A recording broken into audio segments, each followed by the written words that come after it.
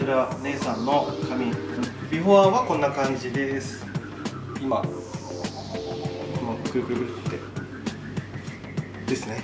で履歴はうんと以前に軽くブリーチだけちょっとしたらしくて上は通常のカラー多分ここやっててでここ伸びてる感じのプリンです。ですね。でこの状態からグレージュのカラーにちょっと変身していこうと思うの。となんか結構厚みあんだよそうなんです今さっき気づいた、めっちゃない？そうなんです。暑いんですよ、結構厚いよね。意外とこのあったっけ？あります。いや結構行ってなかったんで最近。ついたのこれ。ついたやつが伸びてきてるの？なんか結構ああ結構あんね。いい、まあ、重さは出てる ちょっと重すぎる。ちょっと重いかな。ぐらいかなこれ前髪どうすんの？ここは。見えてないか？見える前髪はなんかいつもこういうふうに長長くしてます。はいでここ流すちょっと伸びてきてる感がありますここ流すの？流してます。そうです。はい、ちょっと流すぐらいにしてじゃあこっちちょっと色変えちゃいますよ。先に変えようかなでグレージュのカラーをブリーチ使うと傷むからブリーチなしでやっていきます。はい、そして今日使うのはこちら。まあいいか。後でしてはいえーとこれから始めます。でえーとライトナーと、えーブリーチは使ってません。僕おすすめの、まあ、ちなみに薬事法グレーなので、えー、と公表などしないでください。ここの部分は多分カットしちゃうと思うのでお願いします。ブリーチまではねちょっとね後々大変だからね。はい今日使うのはリパレットとこの薬のみです。いつも言ってますが一番最後のアウトラインはえー、とアップした時見えるからまあちょっとここは繊細に取っていった方がここは今チップ小さめに取ってますけどあとはちょっと攻めでいこうかなと思います。多分これでダブルカラーするんですけどあとカットちょっとするぐらいかな。2時間ぐらいで終わるかなと思います。であんまり根元攻めるとあの伸びてきた時結構目立っちゃうんでこのぐらいでいいかなと思います。ここもちょっと細く入れときます。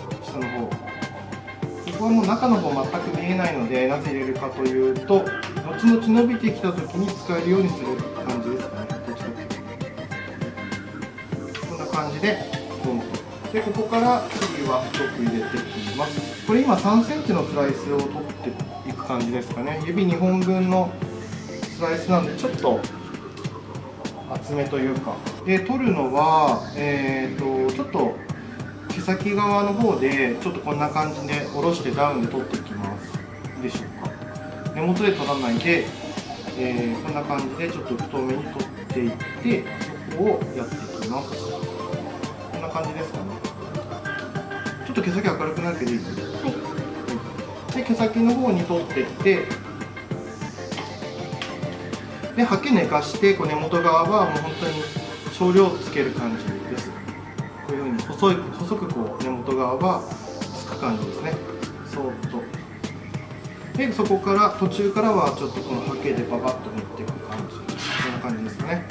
塗料を多くして塗るという感じです。ま根元からここの辺から毛に入れるっていうよりは落とした毛に対してって感じですね。ここも縦3センチのブロッキングを取って縦3センチなんで結構すぐ終わっちゃうんですけどでここで下ろします。いいですかね。で下ろしてから、えー、とこのバランスを見て毛先より、まあ、この中間あたりを少しこうすくっていきます。自然に落ちてる状態を。このぐらいかなっていうのでこんな感じですくってはい。ちょっと厚めかもしれないですけどこんな感じ、はい、でここにえー、と根元の方をこうやって動かしてあんまり根元攻めなくていいと思うんでこんな感じですね。して中間からリパレット今日はダブルプロセスで塗っていくので一回流してから、えー、と次の色入れていくような感じです。こんな感じですね。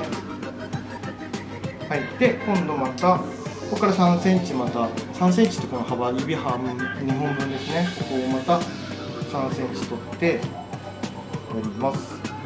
でまたえー、とあちょっとついてますね。でこれでちょっとコーミングじゃないや。ちょっとこう自然に下ろした状態でまたここでどの辺入れていくかっていうのをちょっと決めます。でホイールは使わなくても大丈夫なのででこの時に結構体が高いとうまく取れないので目線を下げてあげてこっちで押さえてブロックしながら押さえて取っていく方がより綺麗に取れます。こういう感じですね。結構押さえながら。でここちょっと絡むんですけどこれしょうがないので上にギュッて引き上げてください。でステムを90度に持ってきたら根元の方をぼかしてあげてあんまりこのモコってなってるところを塗らないようにしてください、はい、ステム90度にして履けば思いっきり寝かしてこういう感じですね。あんまりきっちりやらなくていいのでなんとなくここつなげる感じです。ひまつり行った？きました。お偉いね。最終日に行ってきましすっごい寒い日じゃない？たあすごい寒かったでマイナスだって10 10何度？すいやそんななってない8度ぐらいじゃないですかね多分。マイナス。なんか飲んだ？いや飲んでないです。もう本当すぐ見て帰りました。いやでもあのプロジェクトマッピングが見たくて。あ確かに分かる。あの自衛隊が作って。うんうんうん。あれはすごい。やばい。はいなんかテレビでやってたのは見たんですけどうんうんうんやっ今回はなんか何の雪像大きい雪像になんか薬師寺ああそうなんだいいな結構面白かったあ面白かったです。すっげえ綺麗だよね。すごいです毎年ね。音もついてるから。迫力がありましあれ綺麗なんだよね。雪祭りいつも思うけどさ足靴下さ2枚じゃ足りなくない？足の。ないですね。女性男はさなんかさブーツみたいなの履けるからいいけどさ女の人さあのヒールとかだったらさめっちゃつま先やばいよ。あもげそうになるもうやばいです。本当に。結構やばいよね。スリッパの方が暖かいんじゃないかなってぐらいあのわかる。モコモコの。わかるわかる。いや本当そうだと思う。それぐらいになるもんね。私普通の靴下履いて、その上になんかモコモコした暖かいやつを上に履いてったんですけど、それでもダメでした。あモコモコを30履きぐらいですかね。いいのは。ーそうだよね。そしたら靴履けないですよね。なんかさ足怪我した人みたいな靴に いやほんとそのそのぐらいすごいよね。ああそれぐらいすごい。そうですね。もう結構デカめの余裕のあるやつじゃないと履けないわかるですよね。そうそうそうそれぐらいもうやばい。本当にえ雪祭り見てないんですか？見てないさ。引きこもりだから。最近全然見てないいやもう通った時に見たいなと思ってて結構通るんで。あ仕事で撮るそうですね。あそうやったらね。そっかそっでもあの支笏湖のかはい。京都祭り京都祭り。も行きました。結構いろいろ行ってんだね。一応。活発的だよね。あとすすきののあの氷のやつなんかやってるじゃないですか。あれも見ましたたね。全部だから制覇はしてます。めっちゃ見てんじゃん。そうめっちゃ観光客みたいになっちゃって。る氷に魚あそうです。入れてるやつありました。あ皆さんすみませんちょっとこれ途中なんですけど顔周りの1個は取らないでください。これですね。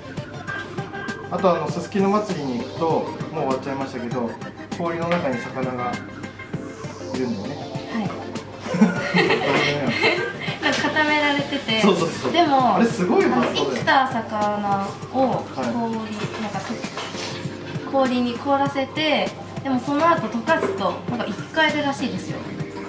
嘘だ。絶対嘘だマジ？いやらしいです。ちょっとせあの金魚それ。確かめたことないんですけど金魚できるっていう多分死にはしないんだと思います。あだってあの入れられてるやつって目とか開いてるじゃないですか。ー確かに。生きたままやってるのかな。魚だと生きられるのか。人間だとちょっとあるかもしれない。ちょっと人間だだから溶かしたら多分また泳げんじゃないですかね。もしかしたら時間関係あるかもしれないけど泳げるかもね溶かしたら。確かに。でもあれ結構なん2週間ぐらいやってんですかね。うんやってるわ多分。ちょっとそれじゃあ分かんないですもしかしたら機械で最後離すのかもしれな。い温めればいいんじゃないですか？お湯。いやお湯でチンしたら多分